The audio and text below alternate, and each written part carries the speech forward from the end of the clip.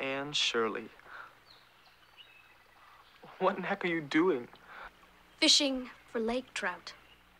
For lake trout.